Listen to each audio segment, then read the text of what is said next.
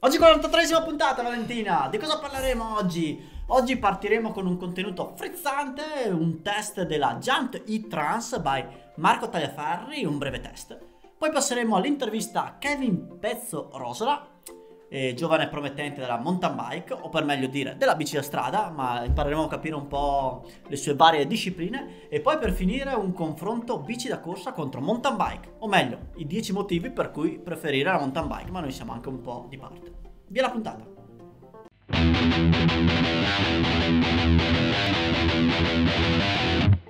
Ed eccoci all'inizio di questa nuova puntata che inizia con il test del nostro nuovo membro dello staff, Marco Tagliaferri. che- Membro, Giant E-Trans bici al mountain, una bici un po' a tutto fare, motorizzazione Yamaha, prova a dirlo Yamaha, vai. Yamaha. Diamo la linea al test. Breve test. Lungo test. Brevissimo test. Come va la nuova Giant e Trans? Scopriamolo assieme.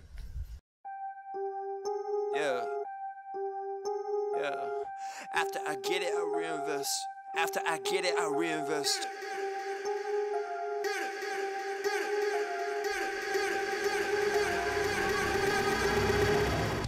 Oggi parleremo della Giant e Trans Plus, una bici elettrica pensata appositamente per l'all mountain e quindi per il divertimento. Il cuore di questa bici è il motore Yamaha eh, customizzato appositamente per il gruppo Giant. Sei sono i sensori che sviluppano questo motore che serve a dare una sensazione di pedalata il più possibile eh, veritiera e, e performante. Eh, la bicicletta ha delle geometrie valide, possono essere modificate, quindi abbiamo un angolo da 65.8 piuttosto che da 66 eh, gradi e un piantone sella 76 o 76,7 a seconda del low o high, quindi a seconda di come vogliamo gestirlo noi.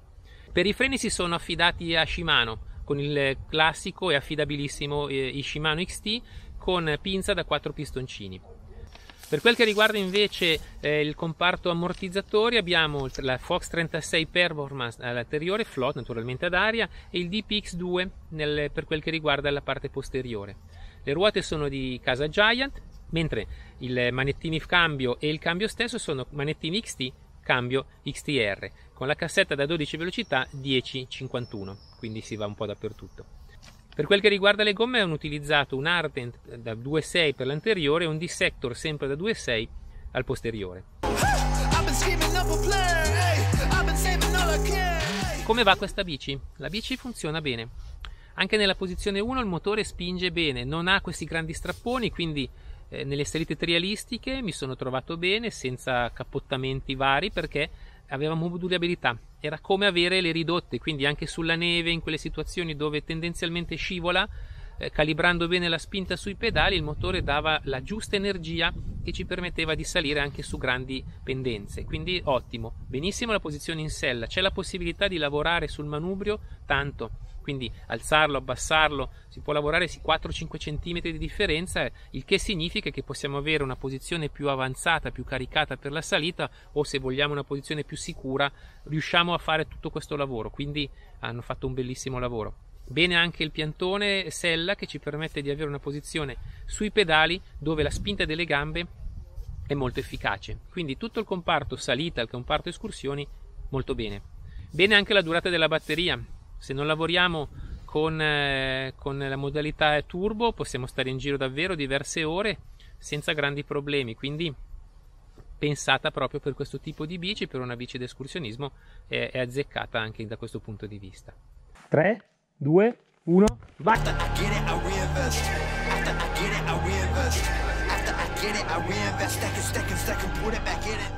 L'all mountain è avventura, è scoperta, ma è soprattutto discesa, quindi eh, il punto focale di questa bici è capire come funziona in discesa. È una bici che funziona bene, buona la geometria, stabile, ci permette di lavorare in ogni condizione e di divertirci. Inoltre la possibilità di cambiare eh, assetto eh, in- anche in corsa con due brugoline ci garantisce la possibilità di avere una bici molto più sdraiata in discesa che ci, che ci dà sicurezza e ci permette di guidare al meglio. Io sono un fan del 29-29 perché secondo me, soprattutto in discesa, ci dà quella stabilità e quella uniformità di lavoro che è fondamentale per divertirsi ed essere più sicuri. Quindi, anche da questo punto di vista, secondo me la performance in discesa guadagna da questa, dall'avere il 29-29 e non come succede per altre bici. Quindi, secondo me, molto bene. Eh, il fatto di avere due gomme dedicate all'enduro è altro punto di riferimento importante. Forse l'unico aspetto eh, che mi ha lasciato un po' perplesso, eh, che mi ha dato qualche pensiero, è stata la forcella davanti. Spieghiamola. La forcella è super sensibile, lavora benissimo, eh, ammortizza tutto, benissimo il ritorno, quindi coppia anche i colpi in, in sequenza senza problemi. Eh, se però andiamo a a cercare discese con grandi pendenze piuttosto che a caricare molto forte nelle curve, ecco, forse è una, una forcella un po' poco sostenuta. Eh, immagino che sia imma- pensata per un, um, un, utilizzo escursionistico e quindi da quel punto di vista bene. Se si vuole ottenere qualcosa in più, aprire un po' di più il gas e ottenere qualcosa in più eh, nei, nei, tratti scassatissimi, nelle discese ripide o così, forse bisognerà lavorarci un po' sull'idraulica. Però secondo me stiamo parlando eh, di, una, di, di, un, di, una, parte piccola del pubblico di questa bicicletta. Per la maggior parte sarà una forcella fantastica perché non stanca, coppia tutto e permette di andare come fossimo sul velluto. Quindi da quello bene. Se si vuole qualcosa di più, ci può lavorare sull'idraulica, ma a quel punto non ci sono problemi. Nell'insieme, una bici molto divertente, adatta a chi vuole fare escursionismo, adatta anche ad un pubblico di entry level, quindi persone che si trovano per la prima volta su una bicicletta elettrica perché eh, perdona molto, perché assorbe tutto e quindi non, eh, non, stanca, non stanca molto. Quindi molto bene questa bicicletta, approvata.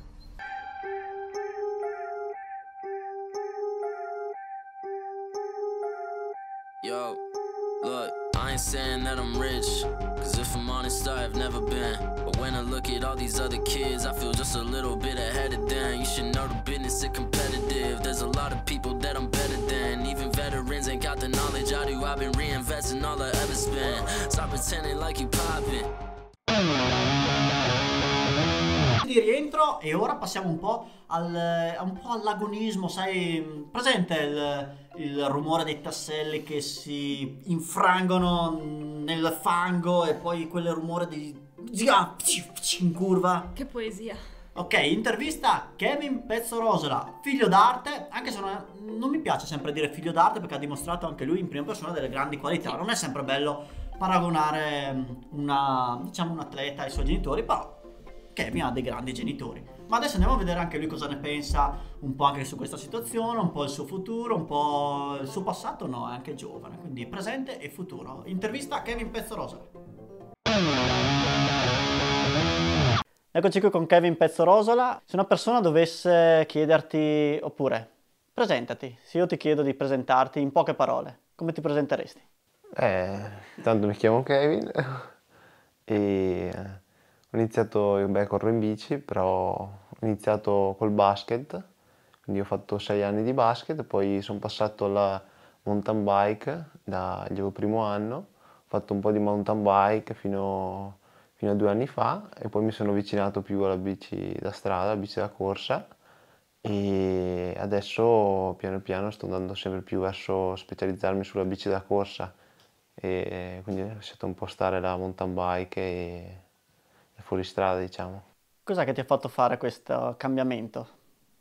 Solo un discorso di vile denaro? no, comunque se vuoi avere un po' più di futuro, soprattutto in Italia, mountain bike non c'è molto, quindi per forza se vuoi avere un po' di futuro, guardare avanti, la strada è dove c'è più futuro. E in un tuo breve futuro, prossimo futuro, ti vedi anche in mountain bike o dove ti vedi? Eh, sarebbe, sarebbe bello continuare tutte e due le discipline, sia mountain bike che strada, però vedrei più sulla strada, focalizzarmi più sulla strada.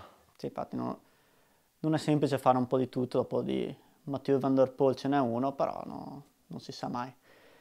E, ehm, il tuo cognome ti pesa? Sarebbe, avresti preferito chiamarti Mario Rossi o per te un o, o, ti pesa essere sempre paragonato, diciamo, essere paragonato appunto o alla mamma o al papà, visto comunque che hai dimostrato delle qualità, diciamo, a livello individuale?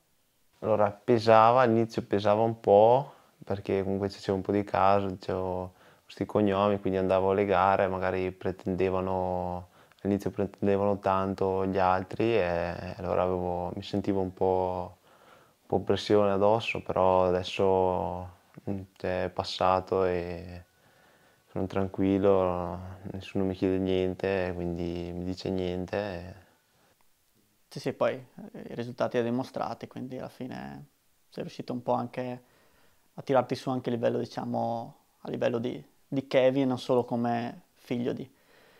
E altre passioni oltre a bici? Sappiamo che ti piace molto i motori e la tua società eh, ti ha fatto qualche eh, commento sulle tue passioni? Ti dico questo perché so che il papà eh, in passato aveva avuto dei problemi a coniugare tipo la sua passione con la moto a- alla professione proprio de- del ciclista professionista.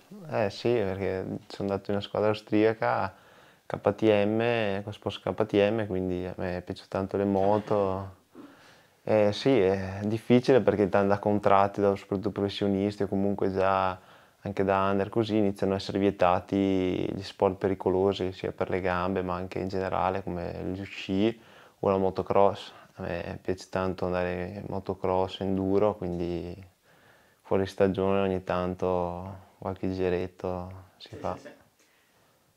C'è qualche mm, rammarico verso il passato a livello di, di risultati? Qualche cosa che avresti voluto vincere, che ti è mancato? Ah, sinceramente un po' l'italiano che ho perso per un centimetro in volata, però non, non- dovevo neanche essere lì perché comunque avevo fatto l'italiano su strada, l'italiano a cronometro, sono andato lì un po', sì lo faccio, quindi è tutta, è tutto più che bene, sì. In questo momento come, come ti stai allenando? O meglio, la domanda è più un dove trova, eh, diciamo, i- gli obiettivi, la forza di allenarsi un giovane come te in un periodo come questo dove ci sono tante incertezze? Beh, ci sono, ci sono tanti stimoli, però soprattutto anche adesso che magari si corre, non si corre, comunque così guardare avanti con i ritiri con la squadra, così e vedere i primi appuntamenti, imporsi un obiettivo e quindi riesci bene a allenarti, prepararti.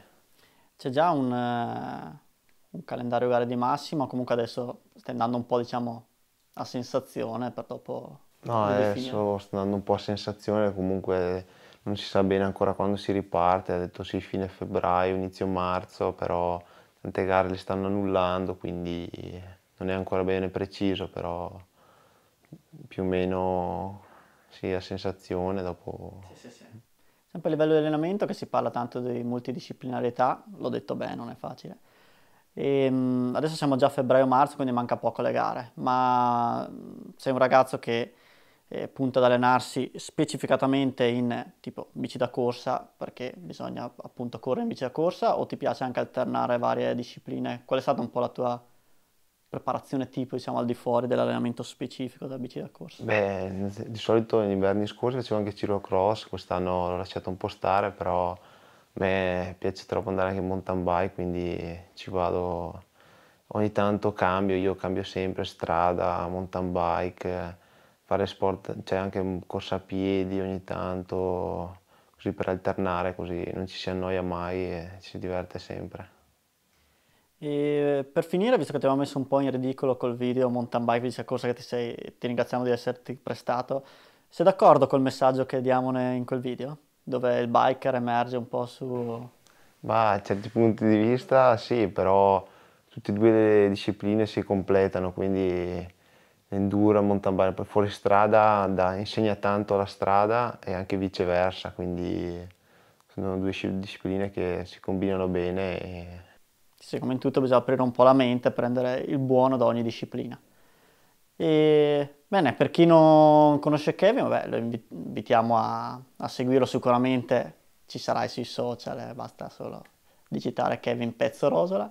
E che dire, eh, alla prossima intervista vuoi fare un, un saluto particolare, non so, salutare il tuo amico biker Matteo che sì, vorrei salutare Matteo che nei momenti difficili c'è sempre. e Adesso piango. Alla prossima, ragazzi. E adesso ultima parte dell'episodio con quelli che sono un po' secondo noi i 10 motivi per preferire la mountain bike alla bici di corsa, rendendoci conto che purtroppo siamo un po' di parte. Ma quindi, Valentina, preferisci la mountain bike alla bici da corsa? Eh, 365 mountain bike, eh, mi sa che sì, siamo un po' di parte. Hai mai usato una bici da corsa? Ammetto di no. Ah, mi piace metterti in crisi, infatti ogni volta che faccio una domanda. Eh, ricordiamo che, anzi, ringraziamo Kevin che si è dimostrato molto simpatico e mm, diciamo si è messo un po' in gioco, si è messo un po' in ridicolo, quindi comunque spazio il filmato dove troviamo i nostri Matteo e Kevin che impersonano il biker e lo stereotipo del, del bici da corsa oiolo in servizio. Ed ecco 10 motivi per preferire una mountain bike a una bici da corsa. E tu da che parte stai? Meglio la concretezza dello stradista, con allenamenti mirati volti a migliorare le sue performance? O la scanzonatezza del biker, più estroso e fantasioso? Motivo numero 1, è più veloce nelle strade secondarie. Il biker ha maggiori possibilità di fuga da un eventuale inseguimento da polizia californiana. Lei è fuori comune! Il tutto grazie alla sua amicizia con lo sterrato. La prima marcia e accosti! Non me lo faccia ripetere due volte! Lo stradista, ruote fini e amore per il bitume, non potrà mai neanche lontanamente sperare ad una fuga all'azzard. È! Verrà ben presto la accerchiato. Non me lo faccia ripetere due volte! Intimo l'alt! Mano indietro alla schiena! Motivo numero 2. Il biker è più trendy. Il biker nel suo vestiario largo e scarpetta flat sarà sempre a suo agio, anche nel caso di una inaspettata commissione imposta nel bel mezzo del giro. Lo stradista, nudo nella licra e in completa balia delle sue tacchette, incespica verso la posta, attirando l'attenzione di tutti i presenti, compreso pure il guardiano della banca. Motivo numero 3. L'inverno si sconfigge facilmente. Il biker non avrà paura del freddo invernale. Come alleate avrà la bassa andatura media e il suo essere un tutt'uno con la natura. Non è raro intravedere un biker intento ad abbeverarsi da una pozza d'acqua e, nel caso di biker anglosassone, l'aggiunta di un Twinings è d'obbligo. Lo stradista sfreccia e si ghiaccia sugli asfalti di tutto il mondo. La vestizione prima dell'uscita può durare più dell'uscita stessa. Durante l'allenamento non è raro vedere stradisti sbattere tra loro le mani, neanche fosse una ballata di Shakira. Motivo numero 4. Il pelo fa uomo. Il biker, quando passa di fronte a una bella ragazza, mostra il suo petto villoso e la percentuale di successo può aumentare del 17%. Lo stradista, nella sua totale depilazione, può spaventare il gentil sesso, visto il rischio tangibile che la quantità di pelo sia minore di quello presente nella compagna. was the first reaction? Shock. Motivo numero 5. Ogni ammaccatura è avventura. Per il biker ogni tacca o segno sul telaio è una storia di un'avventura, che sia un giro epico o una caduta clamorosa di faccia. Tutto gli rimane impresso e glielo si legge negli occhi e nella percentuale di svalutazione del telaio. Lo stradista passa in rassegna l'intero telaio dopo ogni uscita. Nel caso di ritrovamento di un segno arriva la morte interiore. Le notti insonni sono frequenti e la moglie potrebbe farsi venire strane idee riguardo la lealtà sentimentale del marito, non pensando che in mente sua c'è solo la bici. Trin trin. Motivo numero 6. Lo stile batte il fitness. Per il biker l'obiettivo di ogni uscita è il divertimento. Basta un salto ben fatto, una pubblicazione su Instagram decisa e piovono migliaia di like. E la sera festa grande con gli amici. Per lo stradista l'obiettivo di ogni uscita è la ricerca della crisi di fame. Dopo aver postato l'altimetria del giro odierno, somigliante a un elettrocardiogramma di un criceto, riceve solo un like. Forse 3000 metri di dislivello sono pochi, meglio aumentare la prossima volta, pensa in cuor suo, e dorme fino al giorno dopo. Motivo numero 7. La probabilità di furto diminuisce. Si sa che i casi di furto aumentano sempre di più. Secondo recenti studi di 365 TV, nel caso di uno sfortunato furto in casa, la MTB ha una probabilità maggiore di essere sporca rispetto alla bici da corsa. Quindi ecco che il ladro, dopo un piccolo ripensamento, ruberà la bici più pulita. Motivo numero 8. Maggior riccanza. Il biker riesce a godere appieno della sua mountain bike, anche se ha qualche anno di vecchiaia. Anzi, ricordo con piacere quel giorno che l'ha presa, anche se lontano. Magari lo stile di riding è cambiato, ma il divertimento è sempre lo stesso. Lo stradista invece, sfogliando cataloghi, intravede che il nuovo modello della sua bici è cambiato. Dal colore rosso scarlatto si è passati all'amaranto. E subito nascono pensieri di cambio bici! Motivo numero 9. Maggior recupero sui passi alpini. Il biker sa che, finita una salita, c'è sempre una discesa e la gioia lo assale. Per spuntino si ingolfa di pane, salame e birra, pregiudicando nettamente anche le prestazioni discesistiche. Ma poco importa, tanto con i sensi inibiti la sensazione di andare più forte.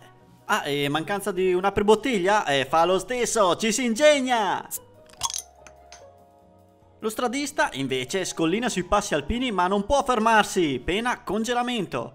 Quindi barretta energetica e carta del giornale sotto l'indumento, il tutto in precario equilibrio. Motivo numero 10, si può rovinare la media. Il terzo tempo in mountain bike rischia di essere più lungo dell'allenamento stesso. Un'ora di giro, due ore a chiacchiera al bar. Lo stradista deve avere molta personalità nel fermarsi e, dopo aver bevuto il tanto sognato caffè, deve accingersi il più fretta possibile verso l'uscita del bar, pena la perdita del gruppo di amici, intenti a tirare dritto senza fermarsi, con l'obiettivo di creare selezione nel plotone. Motivo extra, fidanzata più felice. Ecco il tipico esempio di un ritorno di un biker. Amore, preparati che ti sbuccio come una mela. E questo di uno stradista. Ciao baby, sono, sono distrutto. Tutta la pasta che sono in calo di carboidrati.